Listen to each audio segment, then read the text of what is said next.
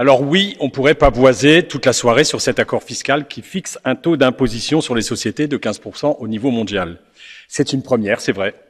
Mais la réalité, c'est que cet accord fixe un taux effectif de 15% quand il aurait pu, quand il aurait dû être de 21%. La réalité, c'est que cet accord ne concerne qu'une poignée de multinationales. La réalité, c'est encore que cet accord favorise les pays développés, laissant encore une fois de côté les pays les plus pauvres. Toujours la même histoire, encore et encore. Donc pavoiser serait indécent. Justice fiscale, sociale, climat, c'est le même combat et ce combat nécessite un vrai changement de cap, une vraie ambition. Cet accord est là, nous devrons donc faire avec. Par contre, rien ne nous interdit de faire mieux en Europe. Puisque la France prendra la présidence de l'Union à partir de janvier, je lance un défi à son ministre de l'économie, Bruno Le Maire, qui se réjouit de cette affaire.